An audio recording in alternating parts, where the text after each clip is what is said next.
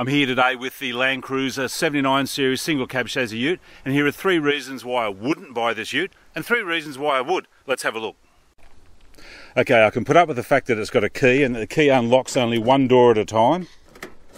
That's all fine. I can put up with the fact that it's got window winders even though they do actually get in the way even these sometimes. I love the quarter window. What is difficult to put up with is these external mirrors. They're just crap, and no matter what Toyota tells you, you can buy aftermarket electric mirrors, and they're just too, I don't know, cheap to put on new ones. Okay, the second reason why I wouldn't buy this ute is because there's no reverse camera. And in a ute this side with the tray at the back, you can't see the edges of it. It's a recipe for disaster. You need a reverse camera. Okay, the third reason why I wouldn't buy this ute is because no matter what model you look at, you're looking at north of $80,000 on the road, and that's an enormous amount of money for this ute. It's just, it's ridiculous pricing. Okay, let's have a look at the first reason why I would buy this ute. This new 2.8 litre four cylinder motor is as good, if not better, than the old V8 in about 99.9% of the applications.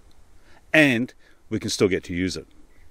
And along with that four cylinder motor, you get an automatic gearbox, which is definitely better than the old manual box and you get a whole lot of additional features as well.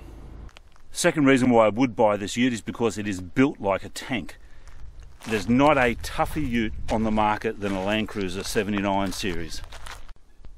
Okay, the third reason why I'd buy one of these utes is it comes with a huge tray and almost 1400 kilo payload capacity, and it'll tow 3500 kilos as well.